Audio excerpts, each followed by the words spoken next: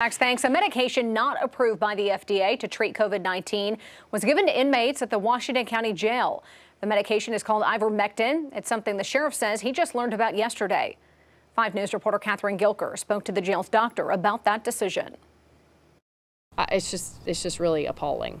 Washington County Justice of the Peace Eva Madison asked Sheriff Tim Helder if the medication was being prescribed after a county employee told her he was prescribed it by the jail health contractor, Karas Correctional Health. Most of those people that are down there are pre-trial, innocent until proven guilty, and their only option for COVID treatment is to go to this doctor who's going to give them medication that the FDA says not to give them.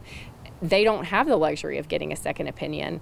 Uh, and then Washington County's tax dollars are being used to pay for this. Dr. Rob Karas says Karas Correctional Health has been treating inmates at the jail for six years. He says 531 inmates at the jail have tested positive for the virus since the beginning of the pandemic. Since the end of June, they've had 166 cases of suspected Delta variant. He has had COVID himself twice and taken ivermectin. I've given it to my mom before she got vaccinated. She was on it preventatively. My stepmom, my in-laws, my sister, my sister's kids, thousands of patients we've we've treated with it. We have not experienced any. We have not seen any bad side effects from it. He understands ivermectin is not FDA approved to treat COVID and says nothing is FDA approved for treatment of COVID. He says early outpatient treatment for COVID is important. My thoughts are do you want us to try and fight like we're at the beaches in Normandy, or do you want me to tell what a lot of people do and say, oh, go home and ride it out and go to the ER when your lips turn blue? I mean, that.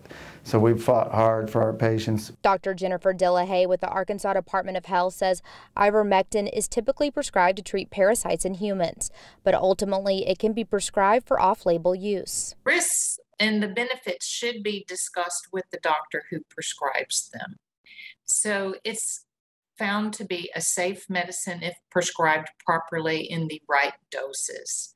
So those are the issues. Dr. Karas says of those more than 500 cases of COVID 19 here at the Washington County Jail, there have been no deaths and one hospitalization. He says the inmate who was hospitalized did not take his medication. In Fayetteville, covering news where you live, Catherine Gilker, 5 News. All right, Catherine, thanks. If you'd like to learn more about ivermectin and the FDA stance on it, you can go to our website at 5newsonline.com.